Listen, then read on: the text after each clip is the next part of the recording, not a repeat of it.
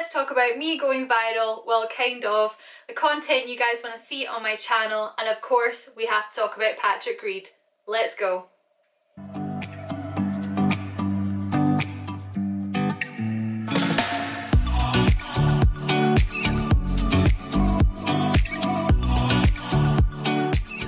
the viral video. Well, kind of viral.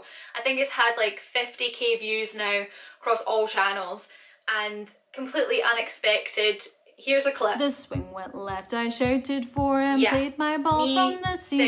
singing. The ball. That's why it's so unexpected. hold, I'll take I couldn't get the original sea shanty song out of my head, so I thought I have to write a golf version. It was so well received by you guys, and I can't thank you enough because completely out of my comfort zone. But yeah, I'm delighted with the messages that I've had from it, and who knows, maybe I'll create more. But as I mentioned, this is not the first time that I've went semi-viral. A picture a few years ago went viral on a number of pages of me and it is even more unusual than a golf sea shanty. Let me tell you a story. About five years ago, I did a kind of throwback Thursday picture and I posted it to my own personal Instagram. I didn't I didn't have that many followers at that point. Then I got a notification to say that Golf Babes, this huge page, had shared a picture of me. I obviously was like, wow, what a compliment. This is amazing. It's usually super attractive females, um, usually in bikinis, but yeah, usually good looking golf girls that are on this page and I thought, wow, what a compliment, let's have a look and see what picture they picked. Well, this is the picture that they picked. Out of all the pictures of me on the golf course, swinging a golf club, they picked this one. And was a little bit hurt, I'm not gonna lie. It obviously is um, my tan lines and yes, Scottish people do tan. It's a throwback to when I just finished playing college golf basically. So I'd been in the sun a lot and I'd been playing a lot of golf. So my sock tan line was pretty phenomenal. I think this gets shared by like Golf Bible and Lad Bible and all these other pages and I kept on seeing it pop up in places and people would tag me in the, the comments because obviously people weren't tagging me in the post.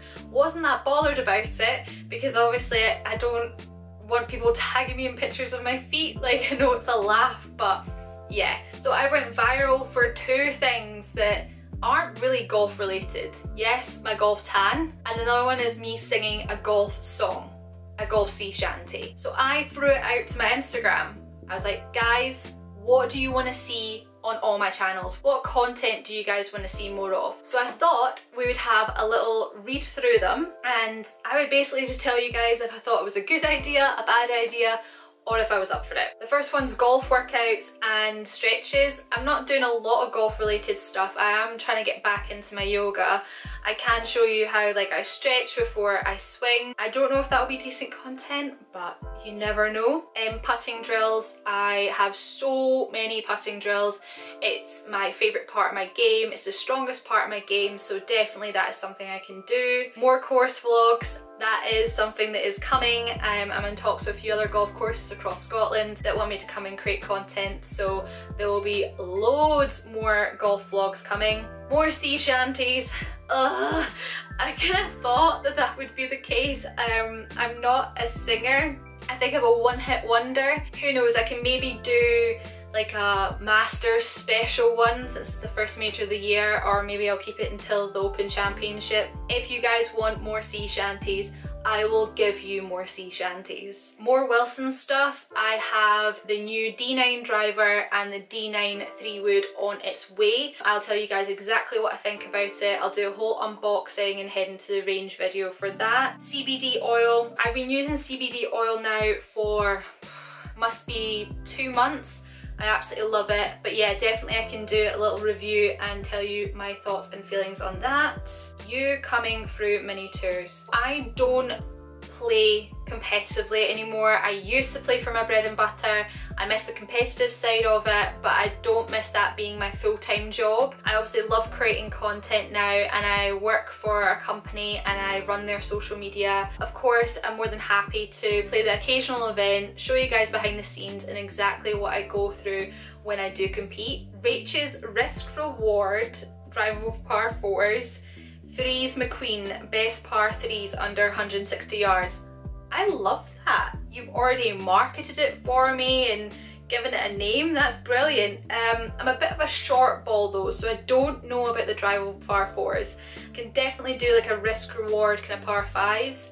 I think the only par four that I've driven recently was the 17th at Dumbarnie. But yeah, I love that idea.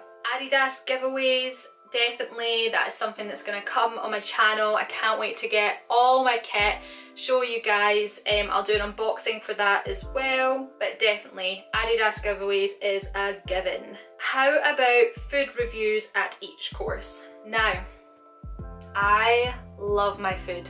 It is the quickest way to my heart is food. Absolutely love it there are definitely clubhouses that are better than others and I would be up for this. If you guys want to see me eat food on my channel at clubhouses, definitely, I'm up for it. You and Alona, closest to the pin and skills challenge. Definitely want to make more content with Alona. Um, she's one of my closest friends. We've already kind of been talking about what we want to do. Right now we're just failing at trick shots um, on our social media channels. If you haven't already, check out both our TikToks. That's where we're posting a lot of that failed content. Practical tips from the range definitely. Um, I think I'll maybe just bring you guys along to one of my range sessions. I'd like to say that I concentrate. I do obviously a few focus shots and I focus on the swing changes that I'm currently going through, but the rest of it is just me trying to hit driver as hard as I can and usually the failed trick shots that I was just talking about. I want to see you make the content you enjoy making, it keeps me more engaged. Well, that's just a really nice comment. Of course, I am trying this year to be more authentically myself across all my channels and I'm going to be making as much content as I possibly can. But yeah, lots of things to come. Sorry I couldn't read out every single person's comment, but thank you for all the feedback. I'll be taking it all on board and I cannot wait to create some of those videos that you guys have requested for me. Now let's talk about what's been going on in the golfing world.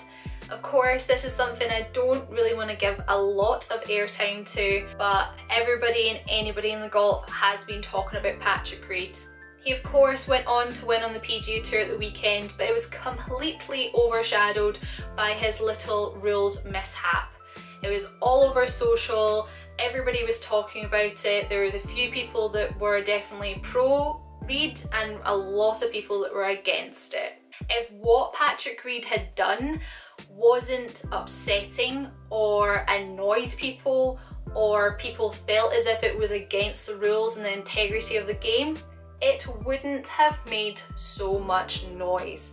But it did. Everybody was talking about it. Yes, he has done things in the past which are extremely questionable and that obviously goes against him. He's walked like a hawk and everything he does is looked at in a lot more scrutiny than other players and that's all I want to say about it. You're welcome to make your own opinion on the Reed situation, but in my view, there's no smoke without fire. Well that's it for this week's video. I hope you enjoyed watching it. If you did, you want to see more videos like this, leave a comment below and let me know what you think.